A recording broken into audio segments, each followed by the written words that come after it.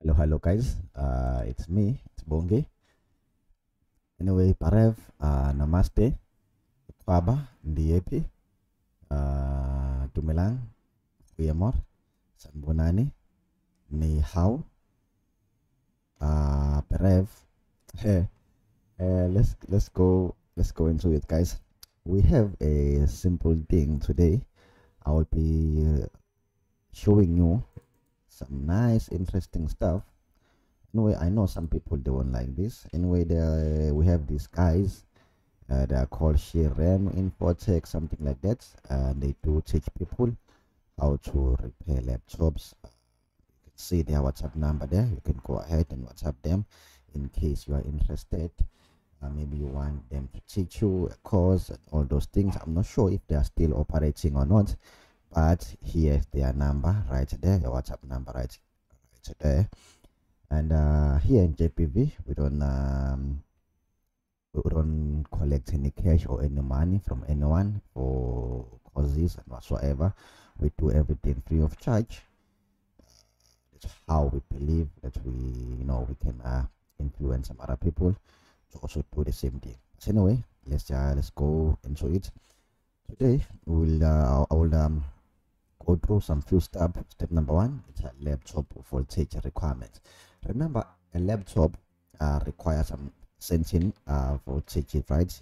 For, for instance, the CPU, here we go, the supply, the CPU uh, voltage is what? It's 1.5 uh, volts, some are 0.8 volts, uh, and again, the amps normally CPU they take 30 some 40 amps and again it depends on any type of the CPU and the one more important thing on the CPU we have this 1.05 volt. It's called a VCCP I'll explain where exactly you get this uh, this power supply. So important for a CPU to work. This 1.05 volts is so important. Keep in mind. Before you, you even get those voltages what exactly the main voltages do you need obvious you need the main power rail of which is what? The 19 volts. The rod adapter the input voltage of which is fine adapter it adapts actual uh, 18 volts or 19 volts or 20 volts depending on your on your laptop. And again you need that voltage the main power rail. Or you need what? A battery charging voltage coming from the battery which is 10.8 volts some are 7 volts some are 11 volts. And again i repeat it depend on a type of a laptop you are repairing or on a type of laptop you are using. Some that 10 10.8 it depends guys depend on the battery rating. Anyway but you need those main power rails. You need them okay? And uh, what else? After the 18 volts you need 3.3 you need 5 volts and uh, yeah always need those power rails i like how they summarize everything for you. Let's go let's see. Now you know that the cpu uh, needs how much 1 volts or 0.8 volts and it needs uh 1.05 volts and as i've said before i'll explain where you get this 1.05 volts but this 1 volts and uh, 0.8 volts is generated by what? A pwm of the cpu a pulse width module of the cpu the power supply of the cpu but these 1.05 volts is generated somewhere else but on the board and it goes all over uh, the port. It doesn't go to a CPU only. It goes to PCH. It goes some other components as well. But I will explain later why it's so important and why you need it. And we have MCH. Those old computers they were using uh, MCH, of which was uh, see again this 1.05 volts. It also goes to, to MCH. And again we have what 1.5 volts, and we have what we have 1.8 volts. 1.8 volts this is a main power rail for, for what? For cpu i mean for a ram as well. 1.5 volts is for what? Is for a ram again. And again this 1.8 volts is for a ram i think uh, 1.8 ram uh, 1.8 volts was those uh also uh rams which were ddr2 if i'm not mistaken. But we'll see. Uh, we have ich they, they show you there 1.5 volts 1.05 volts 1.5 volts 1.8 volts 3.3 and 5 volts we have ddr2 as i've mentioned before ddr2 1.8 volts 3.3 volts and it needs 0.9 volts you have to understand all this power rail we have to check them. If you have them on the cpu uh, on the ram sorry slots check those pins. It's very very very simple. Go through it later on guys I'll, I'll be teaching you this now from now on. Uh we'll do practical come back here. We have a SIO. SIO is a startup chip SIO or KBC you all know the KBC chip. I've done so many videos uh, regarding KBC KBC or startup chip it works with what? 3.3 volts. Okay? And the KBC the startup chip the moment when you connect the charger what will happen is you will get the 19 volts right and after getting the 19 volts what else you will get? You will get 3.3 always you will get 5 volts always. Because power rail will be on always. The moment you connect the charger without pressing the power button before you even press the power button and again the startup chip will be turned on. Same time will be turned on. Okay? Waiting for you to do what? To press the power button. Clock chip will be what? 3.3 volts as well. Power chip will be what 3.3 volts as well but in some latest laptops. Also surprised the BIOS uh, you can find the 3.3 some are 1.8 the latest one the 1.8 volts. So keep in mind that don't trim or don't look for uh 3.3 volts always on the BIOS. Some cases you won't get the 3.3 you'll get 1.8 and in some cases you'll get 0 volts. So you'll wait for you to press the power button and then you start receiving power from where to BIOS chip. And on the BIOS chip, on this BIOS, remember again, keep in mind, on pin number 8, that's where you will check for the 3.3. Pin number 8, that's where you will check for what? For 3.3 volts always before pressing the power button. Let's continue. Network chip. Network chip is network card. Without this card, a computer won't work. I mean, a computer will work, but a network won't work.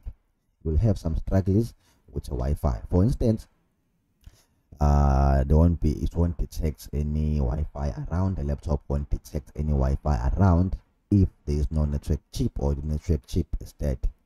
The pc won't detect any uh, wi-fi or network around. Sometimes it will even require you to come closer I mean to bring the wi-fi closer to the laptop in order for it to detect what? To detect the wi-fi. Those are all the signs see and to tell if the network chip is not plugged in or it's not plugged in proper or it's dead or it's not even there. Guys this is nice. This is simple. Let's continue the audio chip. The audio chip works with what? 3.3 volts. Some issues with audio chips what will be some issues with, with audio chips. For instance when you are connecting a speaker to your laptop or to your desktop it won't detect what? Your auxiliary cable won't pick up any sound. There will be no sound at all.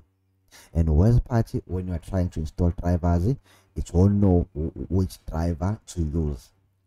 Those are all the signs.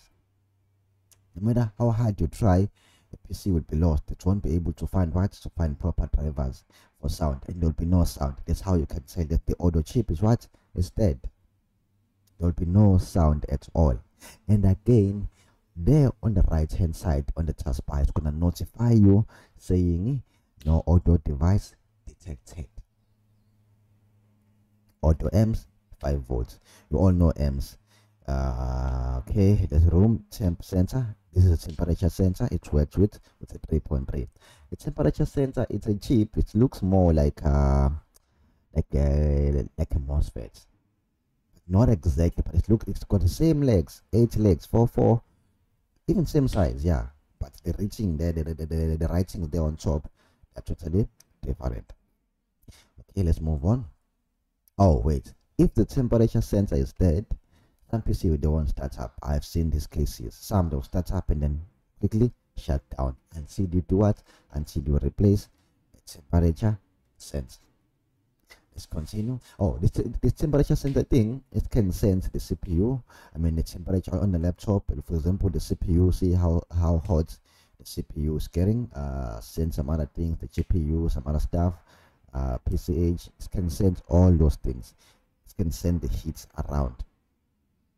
I'm not sure if you get my point. It can sense the heat on the board tell the pc to shut down or tell the fan to move fast. So that it could it will cool down what the CPU or the GPU. Guys, this is simple. Just relax. Let's go ahead. Uh, what else do we have? We have a card reader. Card readers are all stuff, but again, some laptops, some computers, they have card readers. Let's continue. LCD supply. LCD supply is 3.3 volts. this lcd supply don't confuse this don't confuse this with the backlights uh, supply this is an lcd supply the lcd needs the, the 3.3 enable the, the lcd and some other stuff. It need that's what it need that 3.3 voltage. Hard drive hard drive is 5 volts. The big one are 12 volts but the smaller one for laptops they are 5 volts. The writer is 5 volts. Uh, usb is 5 volts. Okay guys this is lovely this is easy. Anyway this, this is it for today. I'm just gonna stop there. Please watch my my next video. Where i'll be doing something else. Anyway love you so much guys. Subscribe and press the the like button